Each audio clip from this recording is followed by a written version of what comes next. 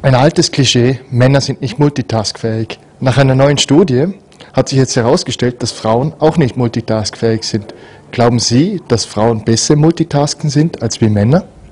Also ich denke äh, schon ein bisschen besser, weil die können doch mehrere Dinge gleichzeitig tun, sagt man der Frauen auch.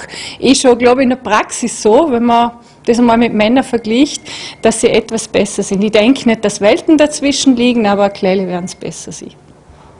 Äh, ehrlich gesagt nicht wirklich, weil äh, einen direkten Vergleich würde ich gar nicht sehen.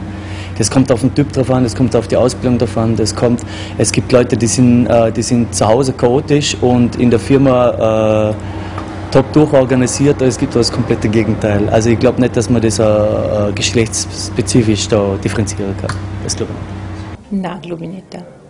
Wieso nicht?